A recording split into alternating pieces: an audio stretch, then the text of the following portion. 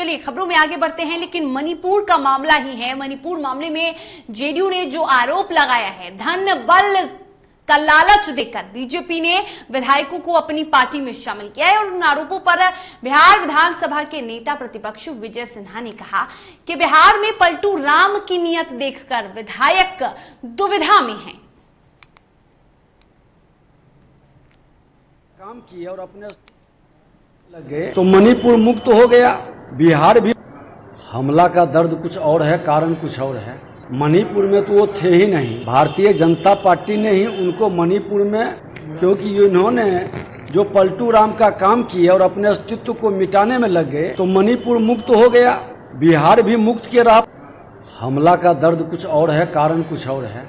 मणिपुर में तो वो थे ही नहीं। भारतीय जनता पार्टी ने ही उनको मणिपुर में, क्योंकि इन्होंने जो पलटू राम का काम किया और अपने अस्तित्व को मिटाने में लग गए तो मणिपुर मुक्त हो गया बिहार भी मुक्त के राह पर चल चुका है और बिहार में तो राजद के गोद में जाके बैठ गए हैं तो जो जदयू के कार्यकर्ता अपना खून पसीना बहाया, उस अराजकता जंगल राज में संघर्ष कर करके कई लोग शहीद हुए, वो तमाम लोग के अंदर की दर्द अब उभर रही है और वो.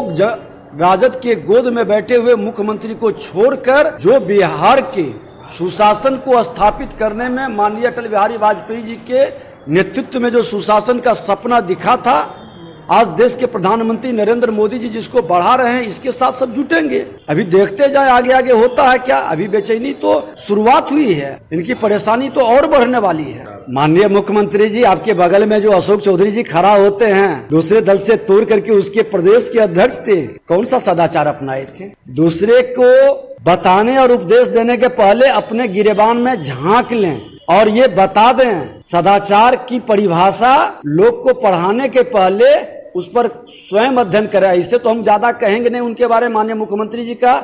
मैं बहुत सम्मान करता हूँ, क्योंकि ये संविधान के ज्ञाता हैं और हम तो इनसे सीखते हैं।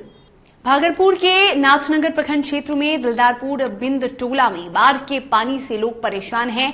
लोगों के घरों में 16 फीट से अधिक पानी है, लेकिन बाढ़ पीड़ितों को जिला प्रशासन किसी प्रकार की मदद नहीं पहुँचा रहा है।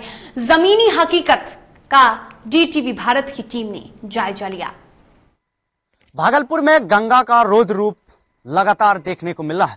इस वक्त हम नाथनगर क्षेत्र के बिंद दिलदारपुर में मौजूद हूँ। हम तस्वीर ये दिखाना चाह रहे हैं कि किस तरह से यहाँ पर गंगा का कहर जो है, वो बढ़ पा रही है और लोगों की जो घर है, वो पूरी तरह जल मग्न हो गया है और ऐसे में भागलपुर के जिला प्रशासन ये मानने को तैयार नहीं है कि वहाँ पर घर डूबा है। बात बिंद, दिलदारपुर की कर रहे हैं, जहाँ पर अधिकारी ये नहीं मान रहे हैं कि घर डूबा है। लेकिन ये तस्वीर उन अधिकारियों के लिए है जो बाढ़ पीड़ित को यह कहते हैं कि वहाँ बाढ़ नहीं आया तो तस्वीर में कहीं ना कहीं जिला प्रशासन पर भी सवाल खड़ा करता है कि आखिरकार वो अधिकारी किस तरह से उन्होंने कह दिया कि बाढ़ नहीं आया है। हालाँकि तस्वीर लगातार हम ये दिखाने की प्रयास कर रहे हैं कि घर में जो है वो करीब चौदह फीट पानी से अधिक है और लोग अब रहने के लिए ऊँचे स्थान प्लान कर रहे हैं। तस्वीर बिंद टोली दिलदारपुर से दिखा रहे हैं। इस और भी दिखा रहे हैं कि किस तरह से